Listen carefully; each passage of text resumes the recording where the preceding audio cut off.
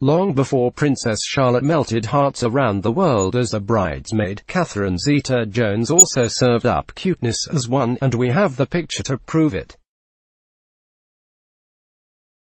48-year-old took to her Instagram account on Tuesday to share an adorable photo of herself in a pink ensemble, all in honor of Prince Harry and Meghan Markle's royal wedding. Catherine shared a photo of herself as a young bridesmaid photo, Instagram. Catherine Zeta-Jones in the throwback image, the Welsh actress adorably posed wearing a pink bridesmaid dress that featured a high neck, long sleeves and puff shoulders.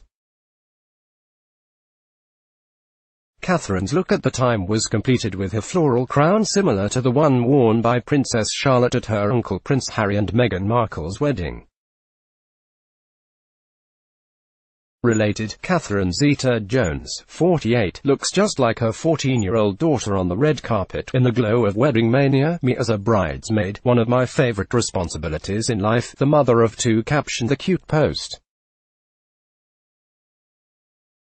Ahead of the royal wedding, Catherine expressed her excitement by sharing a photo of her decorations and themed bites.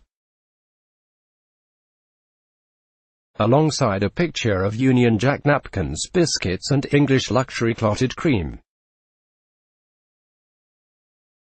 Michael Douglas's wife wrote alongside the snap royal wedding prep.